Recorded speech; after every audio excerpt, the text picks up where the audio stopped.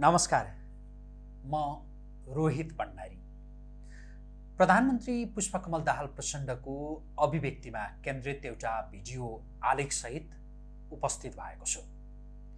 माओवादी केन्द्रका अध्यक्ष पुष्पकमल दाहाल प्रचण्डले अहिले सरकारको नेतृत्व गरिरहनु भएको छ। सरकारको नेतृत्व गरिरहनु भएका प्रचण्डले लाजै नमानी भन्नुभएको छ कि बर्खा सकिएपछि सडकमा म मान्छे उतारिदिन्छु। आन्दोलनमा आउन जनतालाई भन्छु। नेपालीमा एउटा उखान छ आफै दामी आफै बोक्सी।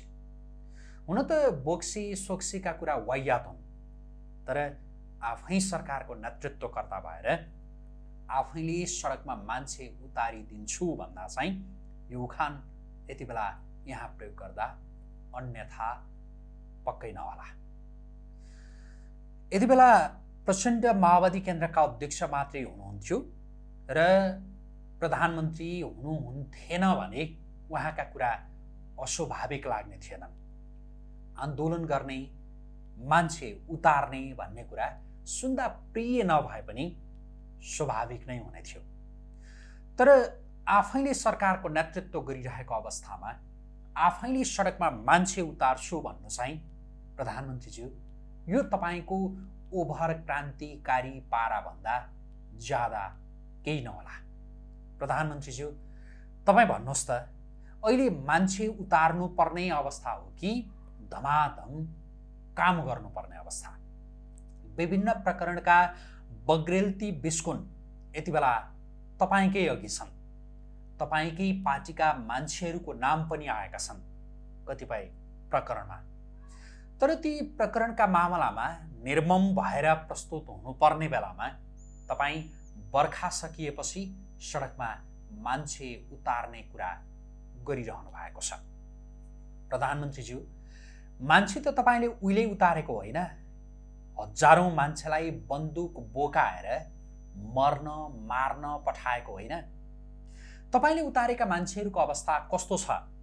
तिनीहरू कहाँ के गरिरहेका छन्? बरु यति बेला तपाईँले सोच्नुपर्ने विषय यो हो।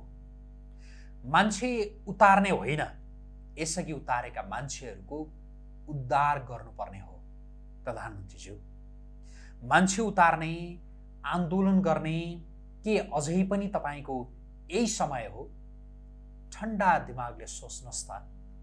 आफूलाई इतिहासले दिएको यो अवसर यी र यस्तै बकम फुसे कुरा गरेर बिताउने कि विभिन्न प्रकरणमा मुछिएकाहरूमाथि निर्मम भएर प्रस्तुत हुने।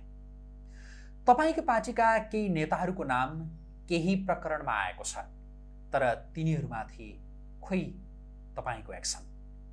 प्रधानमन्त्रीज्यू तपाईँको पारा यस्तै भयो भने बर्खा सकिएपछि मान्छे तपाईँले होइन सरकार विरुद्ध अरूले उतार्न सक्छन्। तपाईँको अभिव्यक्तिका प्रति यति टिप्पणी गरेँ आज धेरै धेरै धन्यवाद। नमस्कार।